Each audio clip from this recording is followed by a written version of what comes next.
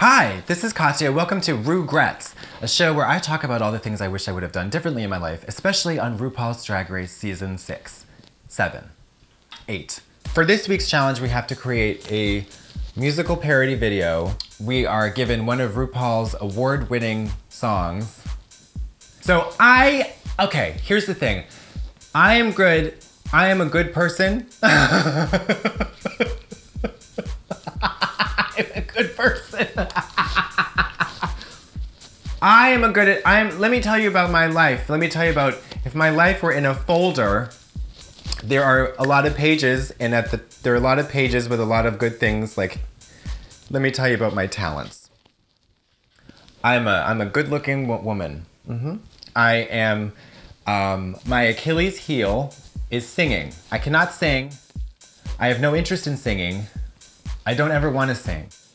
So this challenge was a little bit of a challenge for me. it's not a competition. It, it is a competition.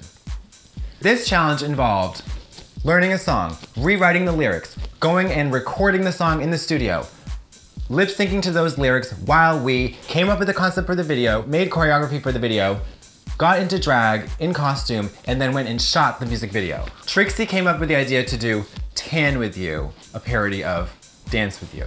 We didn't have any other ideas, so we're like, okay, we're going with that. I think it's wise to tan because when you are in a tanning booth, the, the chemicals and the radiation release like hidden pockets of knowledge in your body. It's tough because as you grow older, and I'm getting older, I mean, we're all getting older.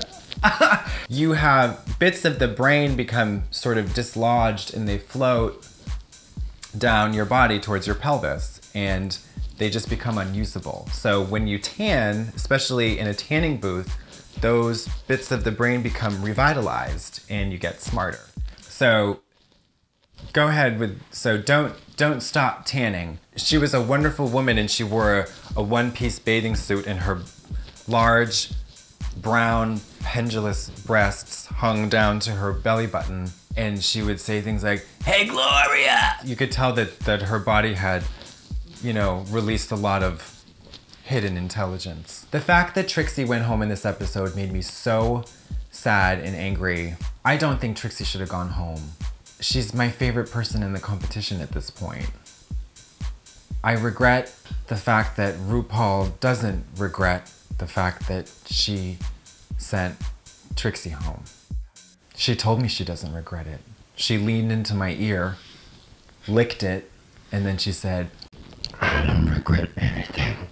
So this week I am best in group, which is also like best in show. I am a dog woman who barks at the moon while sniffing my own anus after shitting out worms.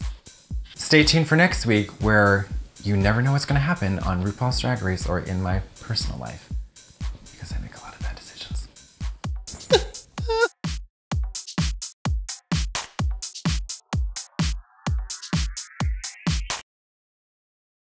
Thank you. And good night. Or is it bad night? Who likes Oprah?